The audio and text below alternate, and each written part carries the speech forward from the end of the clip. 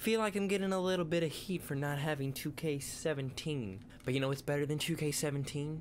2K18. That's right, guys. For this, nowhere else on the internet, on YouTube, on anywhere on the internet, can you get this. This is exclusive how to unlock 2K18 for for free uh, right now, before any, right now. This is how you do it. Five, four, three, two, one. So oddly enough, you have to have a Wii, and you have to go into, well, it's a Wii U, but it's the Wii menu. So then you go into SD card, and then what you're gonna do is you're gonna click to the very last one. Then you're gonna click the question mark, and click next all the way through. Okay, now we've unlocked the code. Now we have to use it in the servers. We go back to the Wii menu. Now you click to uh, Mii channel and you have to create a Mii that looks exactly like the creator of 2K, Michael Jordan.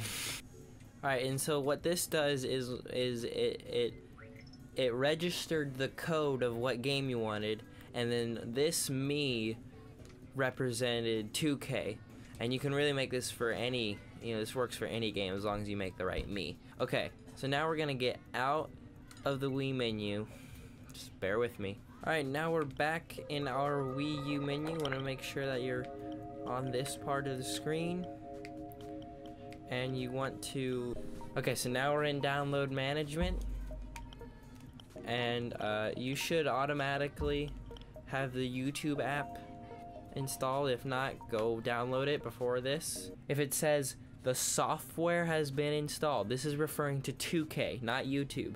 So this means that 2K is now on your Wii U and, and it is playable. So now what we're to do is we're to go back, back to our main menu, and you can put in any game in your Wii U and it'll come up as 2K18. Watch this. So I've got Super Mario Maker in, and this is this is gonna be sweet. 2K18, guys. Can you believe this? It'll show up as that, of course, every single time, but then watch what happens.